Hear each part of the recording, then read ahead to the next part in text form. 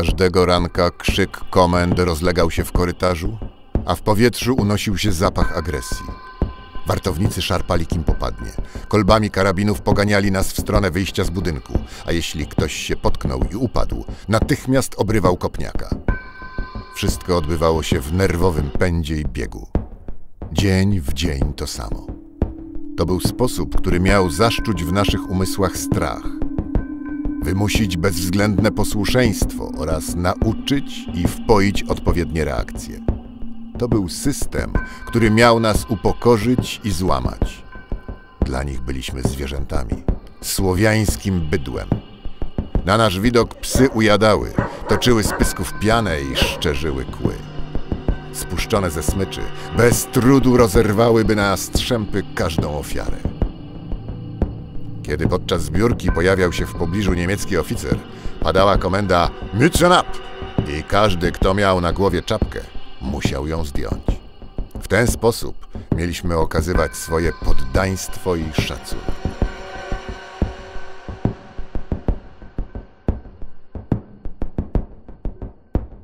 Każdy z nas został wcielony w szeregi tak zwanego z niemiecka Arbeitskommando. Trzy ekipy miały pracować poza terenem więzienia. Pierwsza została przeznaczona do karczowania lasów, druga do utwardzania dróg, a trzecia do budowy nowej trakcji kolejowej. Był taki jeden młodzik, który wpadł na pomysł, że zacznie symulować niezdolność do pracy. Któregoś ranka, już podczas zbiórki, zaczął odstawiać teatrzyk, że niby osłabiony, przemęczony, schorowany. W trakcie drogi ponoć pokładał się, upadał, potykał, ledwo powłóczył nogami. Naiwny dzieciak nie zdawał sobie sprawy, jaki popełnia błąd.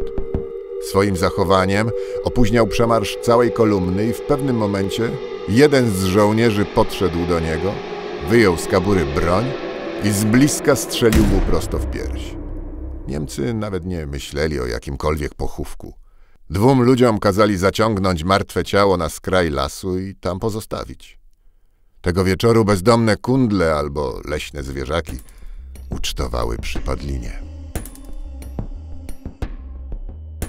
W marcu 1943 roku zostało mi dane wyjść kilka razy poza więzienne mury. Pod eskortą uzbrojonych żołnierzy ruszyliśmy w zachodnim kierunku. Po jakimś czasie minęliśmy ostatnie miejskie zabudowania i maszerując polną drogą przez otwarte pustkowie, zmierzaliśmy w kierunku lasu.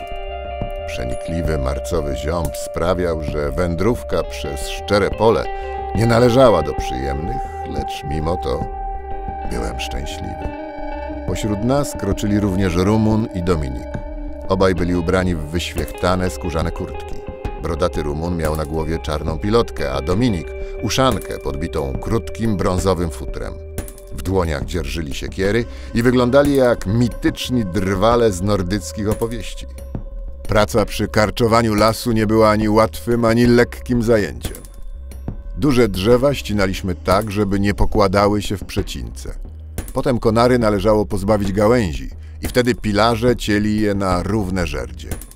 Drewniane bale układaliśmy na stosy o konkretnych wymiarach, które musiały być ulokowane w ten sposób, żeby był do nich łatwy dojazd.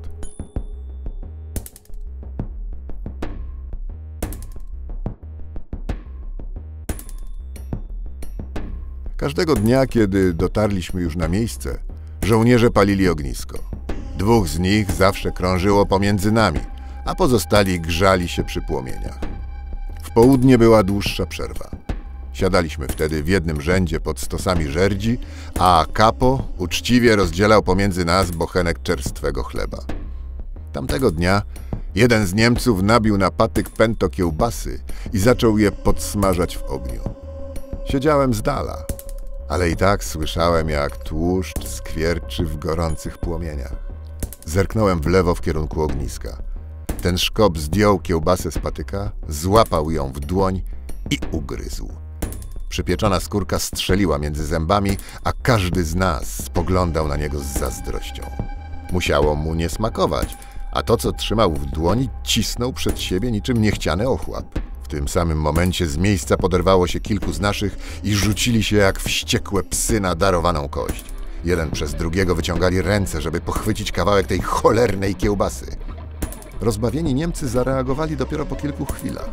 Szarpiąc za kołnierze fufajek i kopiąc na oślep, starali się zapanować nad walczącymi. Kwadrans później Kapo przystąpił do liczenia stanu osobowego. Przeszedł wzdłuż naszego szeregu, zatrzymał się na końcu i z niedowierzaniem spojrzał po naszych twarzach. Dokonał ponownego liczenia i szybkim krokiem podszedł do dowódcy grupy. Niemcy natychmiast ustawili się w rzędzie przed nami, gotowi otworzyć ogień. Tej chwili nikt nie miał wątpliwości, że stała się rzecz najgorsza z możliwych. Ucieczka. Z rękoma założonymi na karkach klęczeliśmy przed stosem żerdzi. Niemiecki dowódca wskazał na Rumuna i Dominika. Nasi kumple złapali za siekiery i razem ze Szwejami pognali w głąb lasu. Nim zniknęli nam z oczu, ktoś z przodu wrzasnął. Rumun! Dorwijcie sukinsyna! Teraz mogliśmy się tylko modlić o dwie rzeczy. Pierwsza, żeby dopadli uciekiniera, a druga, żeby nikomu ze szkopów, którzy trzymali nas na muszce, przypadkiem nie puściły nerwy. Wiem, dlaczego nikt nie zauważył, kiedy ten gówniarz prysnął. To stało się wtedy, gdy doszło do walki o kawałek pieprzonej kiełbasy. To wszystko przez tego durnego szkopa. To tylko i wyłącznie jego wina.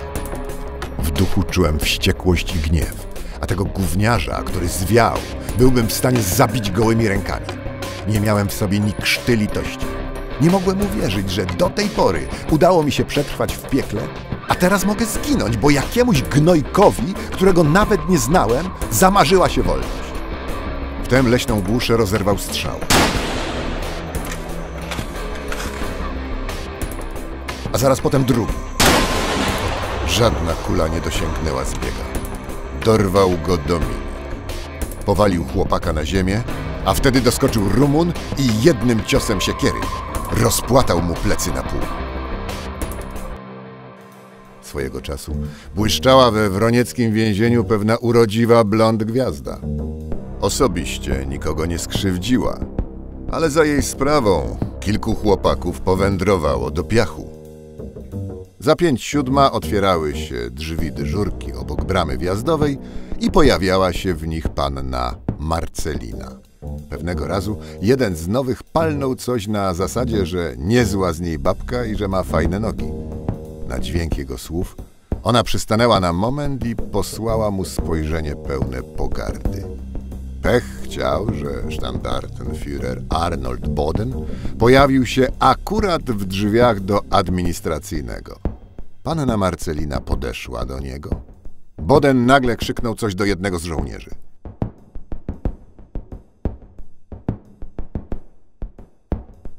Po chwili ten wytargał z szeregu tego gościa, któremu zebrało się na komplementy. Zanim ruszyliśmy do swoich zajęć, każdy z nas widział, jak powlekli go w stronę skwerku, gdzie stała szubienica. Dieter był świadkiem, jak pewnego wieczoru w sali bankietowej Wronieckiego ratusza pojawił się Boden ze swoją wypizdrzoną sekretareczką. Większość niemieckich Szwei unikała tego miejsca, bowiem gościły tam takie tuzy jak Martin Ficken czy Hauptsturmführer Heinrich Kleinstein wraz ze swą towarzyszką Helgą Woer, która również należała do SS. Było kilka wolnych stolików, ale panna Marcelina chciała usiąść obok kominka. Te miejsca były akurat zajęte, lecz Boden miał zamiar spełnić jej zachciankę. Przywołał kelnera i kazał mu stamtąd wyprosić parę, która wcześniej zajęła fotele. Sytuacja zrobiła się niezręczna.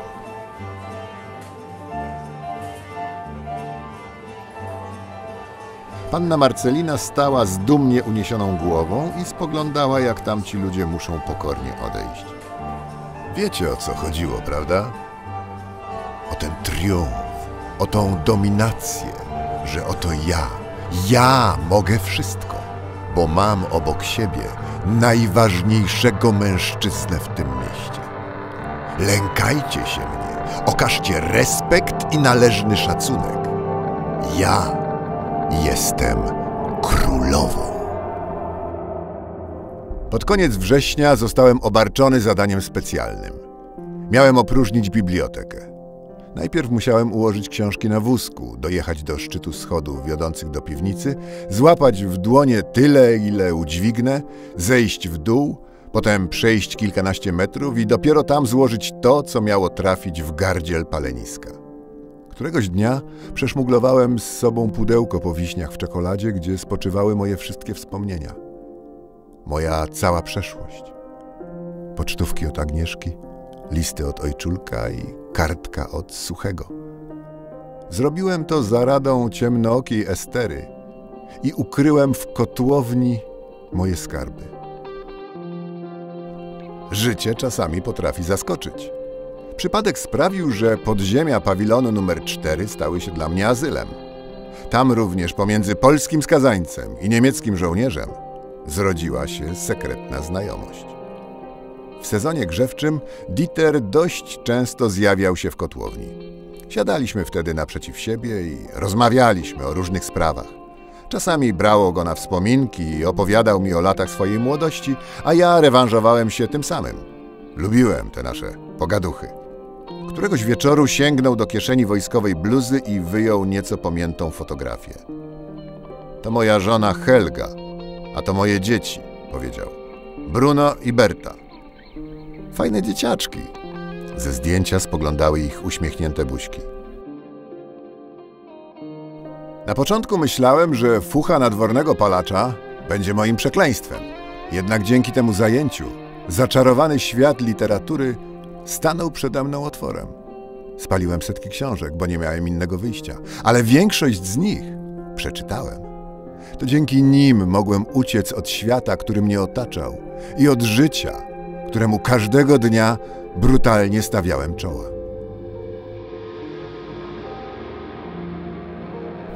Korytarz i pomieszczenia w podziemiach izolacyjnego widziałem w roku 1939, ale pięć lat później to koszmarne miejsce zaczęło mnie nawiedzać w snach. Białe kafelki błyszczą niczym ślepia szaleńca i z każdej strony wpatrują się we mnie ze zwierzęcym pożądaniem. Znam każdą twarz. Pamiętam każdą śmierć.